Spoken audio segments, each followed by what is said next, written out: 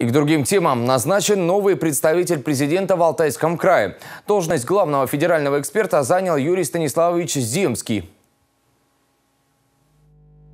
И вот несколько ярких фактов его биографии. С 2010 по 2011 год Юрий Станиславович работал заместителем начальника штаба Черноморского флота, После три года командиром оперативного командования в дальней оперативной зоне. И в 2014 году его назначили командиром Крымской военно-морской базы, которую он возглавлял до 2017 года. Награжден орденом за военные заслуги, медалями ордена за заслуги перед Отечеством первой и второй степени, контр-адмирал запаса.